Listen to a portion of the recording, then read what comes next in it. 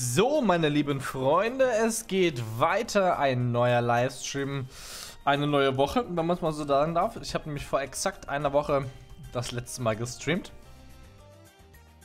Und wir machen entsprechend heute nach einer Woche mal wieder weiter.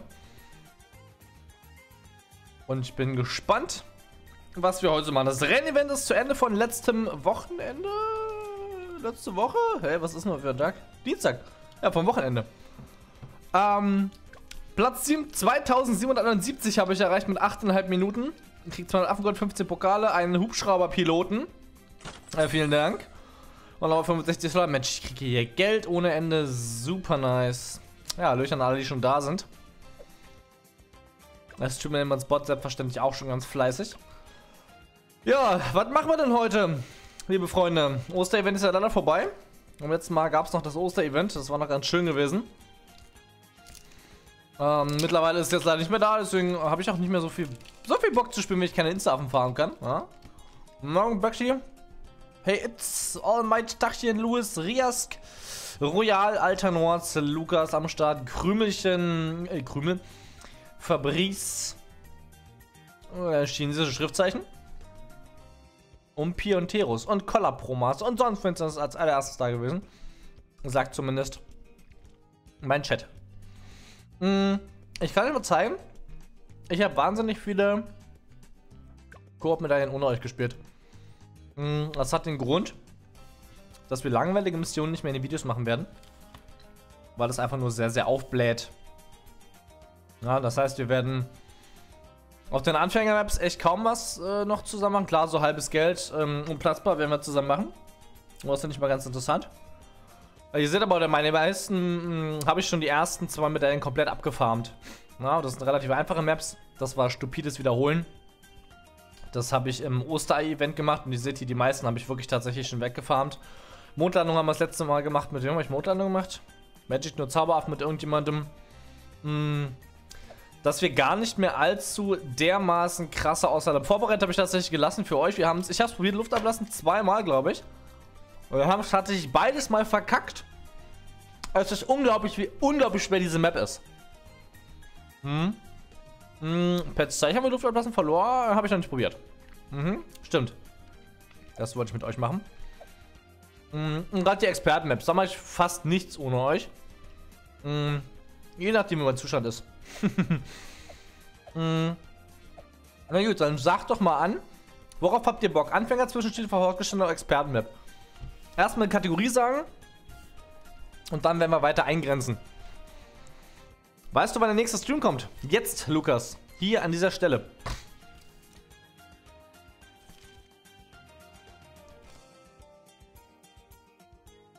Hier an dieser Stelle kommt dieser Stream. Auch so zeichnet er, Mann. Mm, okay, Experte war zuerst. Hat auch zwei Anfänger, An Anhänger gefunden. Gut. Wir werden Teuflisch machen. Mmh. Wir werden Teuflisch alternative Blumenrunden machen. Dass wir immer noch mit den U-Booten spielen können. Die Frage ist jetzt, wir haben Tarnbloons gleich am Anfang. Ob es sinnvoll ist, hm, Azili? Eigentlich nicht. Ich habe trotzdem Bock, sie mitzunehmen. Gut, na, das wird da interessant werden. Ich werde euch gleichzeitig den Code in den Chat und im Stream posten. Ihr dürft selbstverständlich daran teilnehmen. Jeder. Die Woche ist frisch, die ist jung, äh, neu. oh, heißt, jeder kann joinen. Ich habe den Corona zugenommen, nicht nur du. Hey Hanf, na? Mm, Plasma Dr. Halbfisch und Buddy Gamer. Mm, wir haben eine sehr, sehr äh, variable oder eine Variation von Helden. Das habe ich auch selten gehabt. Mm, also ich versuche Edis mich doch ein bisschen trotzdem mehr zu bewegen. Es funktioniert aber einfach nicht. also ich halte die magische Grenze, die ich nicht überschreiten möchte. Ich möchte die äh, Kilogrammzahl mal lieber nicht nennen. Hm. Was hat ein Plasma? Der hat Quincy. Aber ich brauche keinen Quincy. Ich würde es lieber Buddy Gamer geben. Der hat mich Benjamin. Ähm, und ich versuche wirklich, wirklich mit großer Anstrengung diese magische Grenze nicht zu überschreiten. Das ist aber wirklich, wirklich schwer, muss man sagen. Ähm, aber ich habe tatsächlich wieder hinbekommen. Ich habe ja mal Intervallfasten gemacht damals. Im August letzten Jahres hatte ich angefangen für ein paar Monate. Ähm, hab das halt ausprobiert, weil ich es ganz interessant fand, tatsächlich, weil das irgendwie logisch ist. Also für mich ist es logisch, ne, Intervallfasten geht. Normalerweise ist äh, Fasten so, nichts essen und nichts trinken halt außer Wasser oder ungesüßten Tee oder sowas ähm, für einen bestimmten Zeitraum. Intervallfasten äh, lockert das ein kleines bisschen auf, dass gesagt wird, okay, ähm, für einen bestimmten Zeitraum innerhalb eines Tages. Ja, Fasten ist halt mehrere Tage hintereinander, konsequent. Intervallfasten ist stundenweise versuchen konsequent zu sein. Ähm, ja, meistens so eine 16, äh, so eine, so eine 16-8-Methode. Das heißt, du kannst, äh, du kannst, hast einen Zeitraum von 8 Stunden innerhalb eines Tages, in dem du essen kannst. 16 halt nicht. Und das habe ich so ein bisschen praktiziert. Und tatsächlich schaffe ich es meistens. 20 Uhr. Das letzte Mal was zu essen und dann ist es wieder 13, 14 Uhr anzufangen. Hm. Ich versuche mich mit Arbeit abzulenken. Aber auch das passt, ähm, funktioniert auch nicht immer. Ja. Das funktioniert ab und zu mal. Mhm. Mhm, mhm, mhm. Aber nicht immer. Aber nicht Mobile, oder? Doch, doch, auch Mobile kann mitspielen. Kuhhirte. Kein Thema.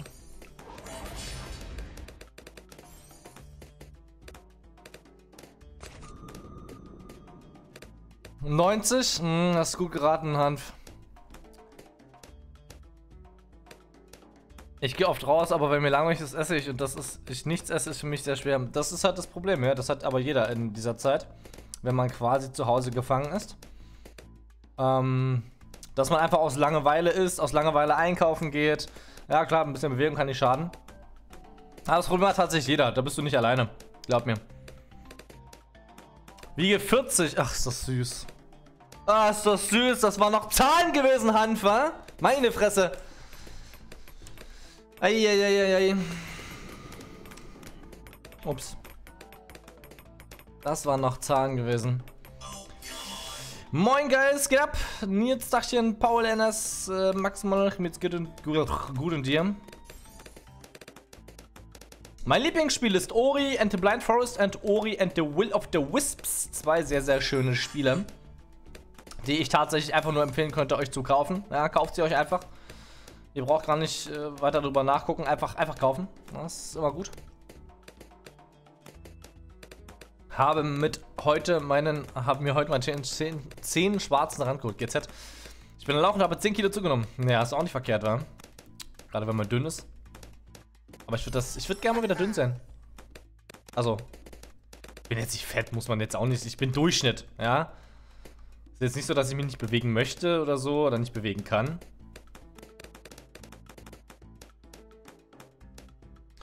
Aber wieder ein bisschen schlanker zu sein, wäre nicht schwer. Ich faste den ganzen Tag, das könnte ich zum Beispiel nicht, gerade nicht, wenn ich zu Hause bin und äh, einfach super viel Langeweile habe. Abseits vom Arbeiten, mal Pausen machen, mal Feierabend machen müssen. Ich hoffe, ich finde auch Freunde auf dem Discord. Ja, viel Erfolg. Viel Erfolg. Wiege 28,2 Kilo. Alter, wie alt bist du? 8 oder 9? Könnte sein, oder? glaube, der Fünfjährige wog... Oh Gott, habe ich das noch im Kopf? 17? 16? Da bin, bist du mit 30 etwa, ja, ich würde so sagen, 8, 9, 10, oder? 28 Kilo, ja. Voll das Fliegengewicht.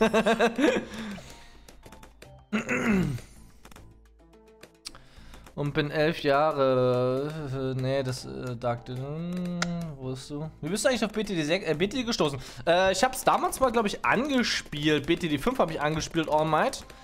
Ähm, und habe dann einfach angefangen zu spielen. Ich kann dir ehrlich gesagt den genauen Auslöser nicht mehr sagen, ob das ein angespielt gewesen ist oder nicht. Tatsächlich, da bin ich, da bin ich überfra überfragt. Was willst du so platzieren? Na, schauen wir mal, was Nützliches, hoffe ich. Erstmal äh, werden wir den, das U-Boot ein bisschen aufrüsten. Äh, du Troll, du kannst kein Level 300 erreichen. Das gibt's nicht als Level. Gleich mal ein Timeout für deinen Troll. Also was arbeitest du eigentlich? Ich hab ein, äh, ich mach was mit Computern, Finn. Du bist elf, ja? Siehst du, so, ein kleines bisschen, ähm, in der Nähe war ich schon.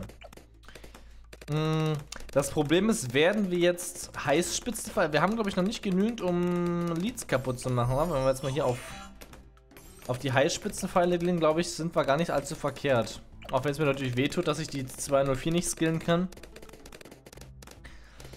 Findest du, manche Spiele auf Steam sind ein bisschen zu teuer? Zum Beispiel Domino Simulator 2020 kostet 8,99. Na, du musst auch immer verstehen, äh, da stecken auch viele, viele Stunden Arbeit drin in dem Spiel. Ne? Auch wenn man es meistens nicht glauben kann und meistens auch nicht wahrhaben möchte, dass in so einem Crap-Game, ich habe jetzt nicht gesagt, dass Domino Simulator ein Crap-Game ist, aber andere Crap-Games, dass da überhaupt Arbeit drin steckt. Äh, und die wollen natürlich ihr Geld wiederhaben. Ne? Einige Publisher machen es ein bisschen cleverer, die sagen, okay, dann dauert es halt ein halbes Jahr, bis wir unser Geld drin haben. Andere sagen, ja, ich will halt in der Woche mein Geld wieder drin haben. Und entsprechend so fallen die Preise halt immer aus. Tatsächlich muss ich sagen, ja, viele Spiele sind mir einfach tatsächlich zu teuer. Die würde ich gar nicht kaufen. Ähm, auch wenn ich das Geld hätte. Ich will sie mir einfach nicht kaufen, weil sie mir einfach zu teuer. Ich habe damals so eine Call of Duty Collector Edition gesehen für 120 Euro oder so. Da denke ich mir, ich würde vielleicht 12 Euro bezahlen für das Spiel an sich. Ja, aber das Spiel an sich hast ja damals auch 60 Euro gekostet und kostet wahrscheinlich immer noch. Ähm, ich stimme dir zu, ich finde einige Spiele tatsächlich zu teuer. 11 mit 28,2 Kilo. Kein Wunder, dass mich jeder laufen hat. Weiß ich nicht, keine Ahnung. Ich äh, kann es jetzt nicht ganz so abschätzen. Ich finde jetzt, schmal zu sein jetzt nicht ganz so verkehrt. Man soll jetzt halt nicht, äh... Oh,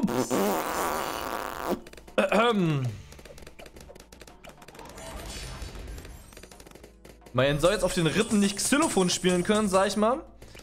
Äh, das wäre ganz cool, aber jetzt, weiß ich nicht, nicht unbedingt dick zu sein, das ist jetzt auch nicht verkehrt nicht dick zu sein.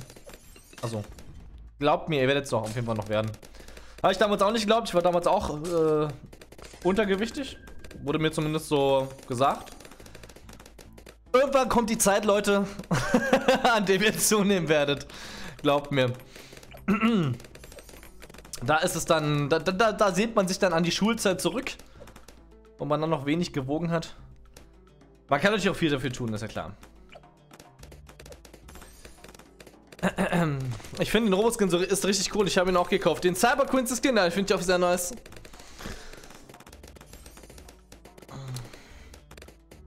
Warum hast du mit YouTube angefangen? Weil ich Langeweile hatte.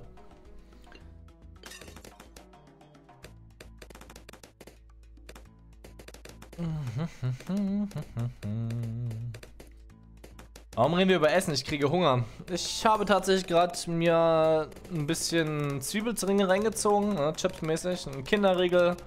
Ja, gesunde Ernährung sieht anders aus, ich weiß. Aber hey. Ah, Guys. Oh, das ging aber easy. Das hätte ich jetzt nicht erwartet, dass wir das tatsächlich so easy down kriegen. Also den, den Moab. Interessant. Bei welchem Spiel hast du die meiste, äh, hast du am meisten Spielzeit? Ich würde sagen League of Legends. Da sind es sicherlich ein paar tausend Stunden. Ich habe ja auch über 3000 League of Legends Videos auf dem Kanal. Theoretisch könnte man sich da anhand dessen schon mal die Spielzeit ausrechnen, die ich mindestens haben müsste, plus die ganzen Spiele, die ich halt nicht aufgenommen habe. Äh, ansonsten BT6 ist jetzt nicht allzu viel, muss man sagen. Ne? Sie sind bei 395 Stunden plus 150 Mobile etwa. Äh, 550 Stunden gerade mal, ja, nur in Anführungszeichen. Ähm, Tatsächlich würde ich aber sagen, an sich League of Legends. So grundsätzlich. Das Problem ist der Alltag. Man wird älter, man ist immer das gleiche, also mengentechnisch, aber die Bewegung wird meist immer weniger bzw. langsamer. Das stimmt, Chaos. Und gerade wenn man einen Bürojob hat, ist man leider sehr, sehr sitzhaft. Ja, das äh, merkt man tatsächlich. Ich glaube, seitdem es mit bei mir in der Ausbildung angefangen hat, hat das angefangen. Und wenn man halt viel am Rechner macht, ist es einfach so, man sitzt halt mindestens acht Stunden am Tag auf Arbeit und dann halt nochmal ein paar Stunden zu Hause am Rechner. Ja, das schlägt sich aufs Körpergewicht nieder. Ne? Bei mir gab es halt Hühnerfrikassee. Geil, Dizzy. Mm. Ich denke, die meisten Jungs wollen nicht dick werden, weil die meisten mit dir oberflächlich sind. Damit meine ich aber nicht alle. Also ganz ehrlich, Kinder und Jugendliche, die sind in der Regel eh immer noch so aktiv, dass die äh, schwer, schwer, schwer werden, sagen wir es mal so. Dann liegt es dann so in anderen Veranlagungen wahrscheinlich etwas dicker zu werden. Aber in der Regel bewegen sich Kinder und Jugendliche ja super viel. Bei mir gab es in der Zeit, in der ich immer dreimal gegessen habe, bei mir gab es die Zeiten, in der ich immer dreimal gegessen habe und trotzdem leichter wurde. Ja, das ist halt äh, der frühkindliche Stoffwechsel mit sehr viel Bewegung. Tatsächlich dachte ich, äh, ich behalte ihn auch bis zum Lebensende. das hat sich leider äh, in Luft aufgelöst. Hi, welche Leistung? Ich habe, äh, ist eine gute Frage. Ersili. die habe ich noch gar nicht gesetzt. äh, ich kann sie auch gar nicht setzen. Ich habe keinen Platz mehr dafür. Ja, ich wollte Ersili tatsächlich nutzen, um für Runde 40 äh, für die Zeppeline was zu haben. Aber tatsächlich haben wir so viel Damage, dass ich das gar nicht brauche. Magst du Spinat? Ja, ich mag fast mittlerweile eigentlich alles, was ich essen, was es an Essen gibt. Ich mag sowas wie Shrimps nicht, ich mag sowas wie ja, Garnelen, also grundsätzlich so Fisch bin ich immer ein bisschen abgeneigt. Ansonsten bin ich eigentlich mittlerweile fast alles Esser geworden. Hey Bilal. Schauen wir mal, ob wir diesen Stream nur Korb spielen. Glaubst du, dass man als Casual Player jede Map auf schwarze Rand schaffen kann? Auf gar keinen Fall, Nils. Ich werde es auch nicht schaffen. Ähm, Gerade die Experten-Maps, außer schwarze Burg, äh, finstere Burg, ähm, wenn überhaupt auf einem goldenen Rand, aber selbst den, denke ich, werde ich nicht schaffen. Was ist eigentlich dein Hassessen? Rosenkohl. Shrimps, Garnelen. also das, was ich gerade meinte. Körperlich aktiv im Job, da kann ich zu Hause gerne mal vom Rechner sitzen. Ja, Hanf, das kann man natürlich machen. Jetzt natürlich, normalerweise bewege ich mich auch sehr viel auf dem Weg zur Arbeit. Damals bin ich halt immer so, so 12 Kilometer dem Rad zur Arbeit gefahren. Einmal hin, einmal zurück, sind 24 Kilometer am Tag, das ist schon ganz ordentlich. Ähm, na, damals im Sommer. Also schon, schon wieder gut ein Dreivierteljahr her. Aber jetzt, wo ich jetzt seit einem Monat etwa von zu Hause aus arbeite, beschränkt sich mein Arbeitsweg von meinem Bett zu meinem Laptop an meinem äh, Schreibtisch. Und das sind, naja, lass es vielleicht 25 Schritte sein. Normalerweise brauche ich pro Weg etwa 3.000 bis 4.000 Schritte. Runter auf 25 macht sich deutlich bemerkbar.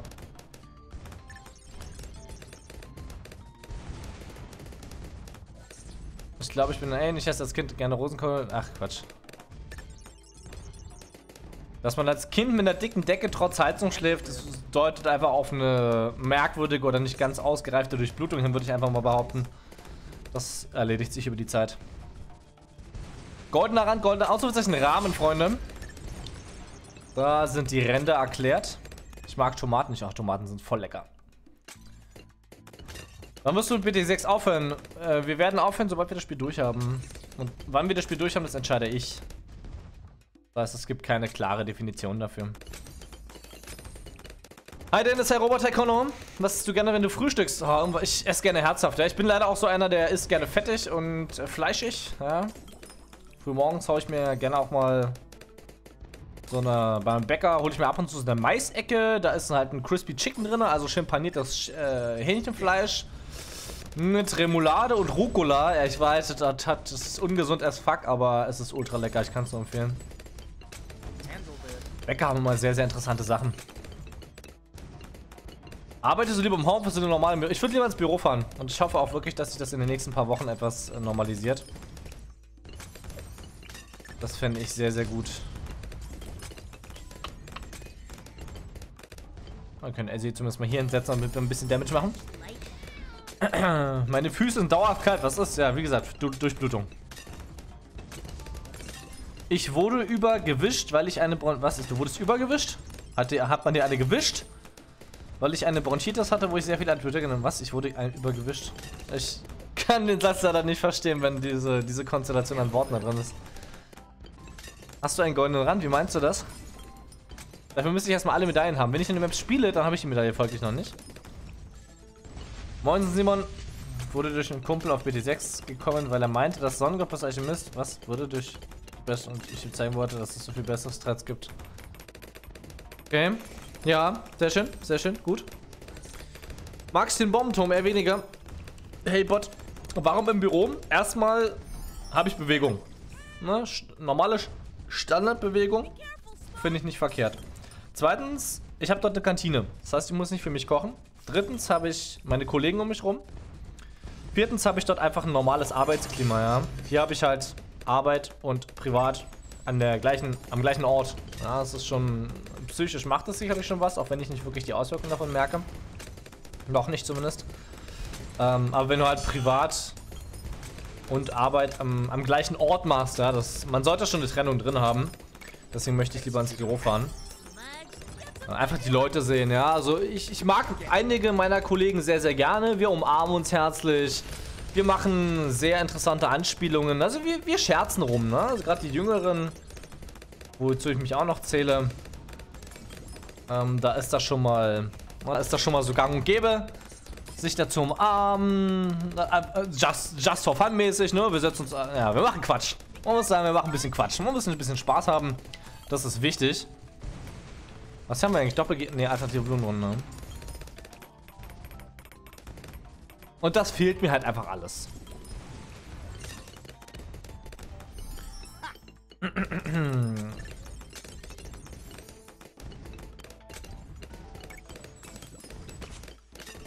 Bei mir ist es richtig scheiße, wenn ich schlafen gehe, lege ich zwei Stunden in meinem Bett, aber ich kann nicht einschlafen, weil es mir zu viel zu heiß ist, obwohl ich an Decke und Heizung schlafe. Wenn es sich stört, solltest du es vielleicht von einem Arzt abklären lassen. Das kann, ist nie verkehrt. Es ist nie verkehrt, sich auch mal Hilfe zu suchen.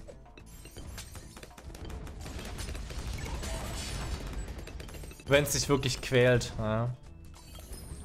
Wie alt bist du? Ich bin 26. Wusstest du, dass es Menschen gibt, die nur vier Stunden schlafen müssen? Es gibt auch Menschen, die äh, alle, also die halt so, ähm, oh, wie heißt es?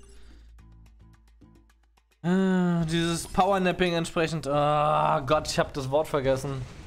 So eine Kacke aber auch.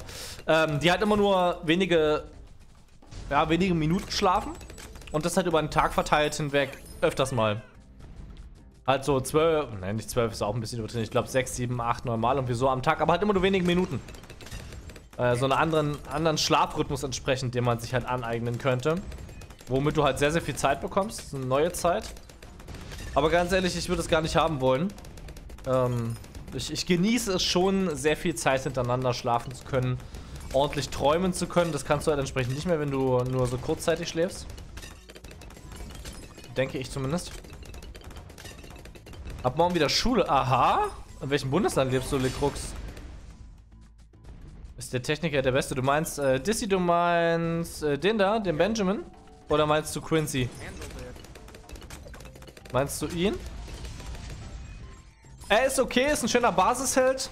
Ich finde aber tatsächlich, Benjamin ist der allerbeste Held, weil er dir einfach sehr viel Geld produziert, womit du jede Runde ziemlich einfach äh, überstehen könntest. Hi, Halbwelt. Hab mal eine Frage. Wenn ich an einem Codespiel beitreten bin, steht da jedes Mal Inkompatibilität wurde festgestellt. Da musst du darauf achten, dass du dieselbe Spielversion hast, Simon. Versuche es auf, äh, ähm, manuell zu updaten, wenn du es halt über Mobile spielst. Werden meistens die Versionen nicht automatisch geupdatet. Einfach nach Bloons TD6 suchen, da auf Aktualisieren klicken, wenn es ähm, was gibt. Wenn du die Steam-Version hast, wird automatisch aktualisiert, sonst kannst du gar nicht spielen. Ähm, ja. That's it. Ich meine Benjamin. Benjamin ist der Beste, yo. Benjamin ist, äh, jein. Die ersten fünf, sechs, sieben, wo ist er denn? Hier, die ersten sechs Level ist er passiv. Das heißt, er produziert nur Geld. Ab der siebten schmeißt er einen Trojaner auf die, äh, auf die stärkste Blumenart. Meistens eher ein Moab oder ein Keramik. Und wenn zum Beispiel der Moab zerstört wird, kommen da halt keine vier Keramiks raus. Das ist gerade sehr praktisch für kurze Strecken oder äh, schwierigere Missionen. Oder halbes Geld zum Beispiel. Na, halbes Geld ist Benjamin der doof. Produziert nicht so viel Geld. Äh, aber alternative Blutungen zum Beispiel, dass wir den ähm, Wehr Moab halt trojanisiert haben. Da kam halt keine Wehr Keramiks raus, was uns den Kopf gekostet hätte. Also ab 7 ist er auch aktiv. Ja? Der bringt da schon ziemlich viel und hat schon, wie du siehst, hier schon 15.500 Gold generiert. In den 70 Runden 15.000 zusätzliches Gold. Das heißt, damit kannst du schon mal so einen schönen AK-Nägelmagier bauen, ja, der schon ordentlich reinhaut. Du streamst immer wenn das nicht passt. Ja, halbe Welt. Wir haben beide halt einen unterschiedlichen Rhythmus, ja. Ich nehme oft Open für dich grundsätzlich auch. Open finde ich einen kostengünstigen Helden. Also ich benutze sehr gerne Open und Benjamin. Open für eher so die äh, kürzeren Missionen und Only Zauberaffen und halbes Geld. Ansonsten halt Benjamin. Ansonsten Simon mal den Support anschreiben vom Spiel.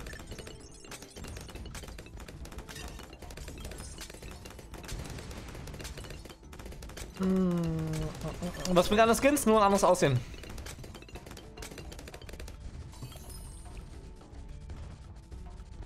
War der einfach mal mit BT6 schwer oder warst du direkt drin? Ich habe BT5 gespielt und dadurch sehr, sehr viel Vorerfahrung gesammelt. Deswegen ist BT6 für mich kein, kein Problem gewesen. Ähm, BT5 reinzukommen. Du musst halt erstmal alles lernen. Ne? Du musst halt lernen, welche Türme gibt es, welche Skills haben die, auf welchem Pfad sind sie am effizientesten.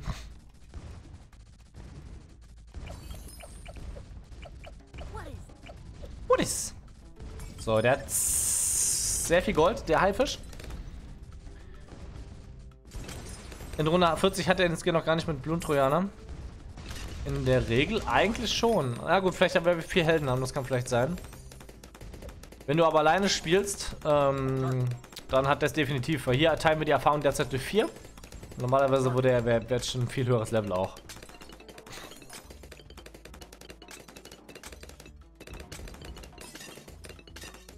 Naja, musste zu meiner Mutter aufs Land und dann Fahrrad. Und mit dem Fahrrad 20 Minuten fahren. Geil, oder?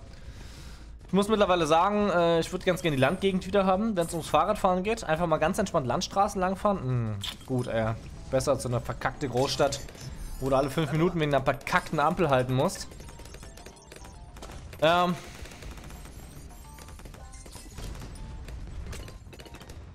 Hey, Blue Master. Hey, Anton.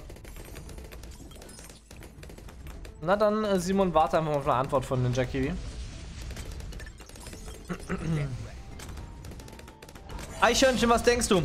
Beantworte dir deine Frage zuerst selbst, bevor ich anfange zu antworten. Und dann stell dir Frage, warum hast du die, nicht die, die, die Frage sie vorher gestellt, sondern musstest unbedingt den Chat damit mit dieser unglaublich peinlichen Frage äh, ähm, befüllen. War das einfach aus logischer Sicht nur eine einzige. Ein, es gibt wirklich nur eine einzige Antwort. Da gibt es auch gar nichts zu diskutieren. Es gibt nur eine einzige Antwort. Es gibt halt nur eine. Eine einzige. Wenn man doppeltes Geld spielt und dann halbes Geld spielt, ob das dann wie normal ist. Es gibt darauf nur eine einzige logische Antwort. Es gibt nichts anderes darauf.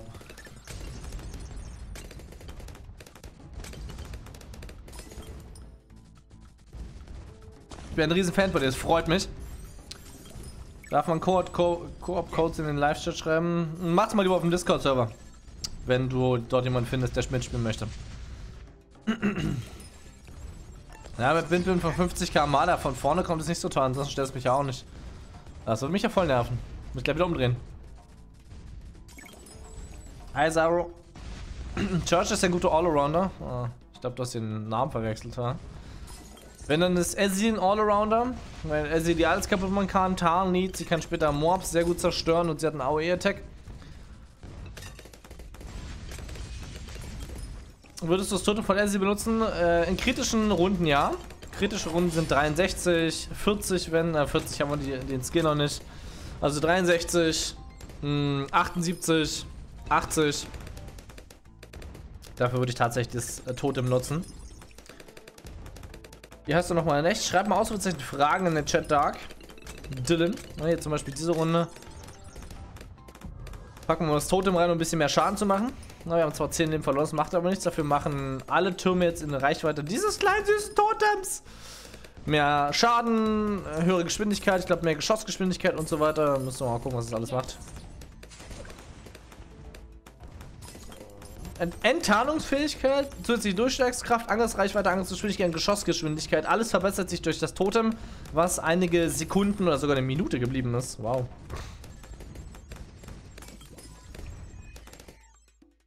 Hey Samuel, hey Ford Champion, Dachchen Bazillo. Kann man das Totem auch bei einem HP benutzen? Jan, genau das gleiche wie... Wer hat die Frage vorhin gestellt gehabt? Äh, wie Eichhörnchen, äh, beantworte mir erst einmal die Frage selbst, bevor ich sie beantworte. Benutz mal bitte deinen Kopf. Der ist dafür da, nachzudenken. Und ich glaube, du kriegst das hin. Hast du dich früher gefreut, wo du in die Schule gehst? Partiell. also teilweise. Gab halt auch mal ätz ätzende AIDS-Tage. Aber so alles in allem war die Schulzeit, als ich natürlich noch nichts anderes kannte, interessant.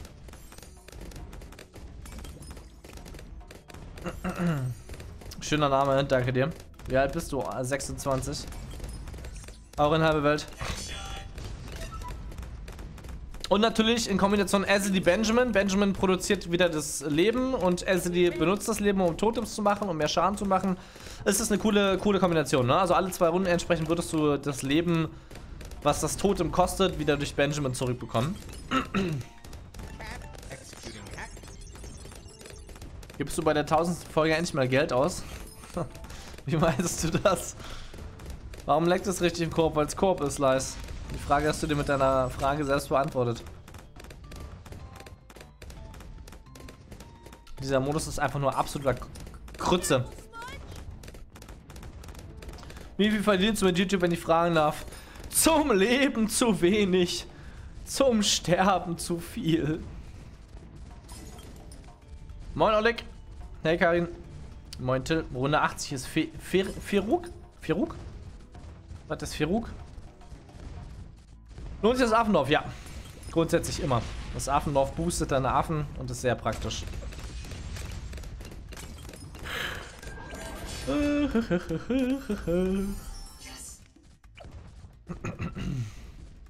Kannst du einen Zauberwürfel lösen? Ich habe einen tatsächlich neben, einen neben mir liegen. Wenn der Fünfjährige herkommt, der Griff geht öfters mal in die Schublade mit dem Zauberwürfel. Na, hier ist er. Der Rubik's Cube. Ich habe tatsächlich auch eine Anleitung wie ich den löse. Aber ich habe es bisher tatsächlich noch nicht geschafft. Ich bin noch nicht über die äh, über die ersten ein, zwei Schritte hinaus. Wo du ein weißes Kreuz bilden sollst und dies und das. Also schade eigentlich um den Wurf, weil der ist echt cool. Und ich würde es tatsächlich gerne können. Vielleicht sollte ich das immer mal bei mir haben, falls ich mal irgendwo eingesperrt bin. Falls mich irgendeiner entführt und mir unbedingt den Zauberwürfel lässt. Und er nicht denkt, dass ich daraus eine tödliche Waffe bastle. Ähm, ja, würde ich ganz gerne mal lernen, tatsächlich. Finde es sehr dumm, dass Leute immer von einem YouTuber eine Antwort wollen, wenn sie Fragen stellen und nicht auf den Chat achten. Meine Meinung ist dazu einfach lächerlich. So sieht's aus. Ich stimme dir zu. Da die Thematik hatten wir letztes Mal auch schon gehabt. Interessante Mission auf jeden Fall, sehr schön. Wir haben auch nur 33 Minuten dafür gebraucht.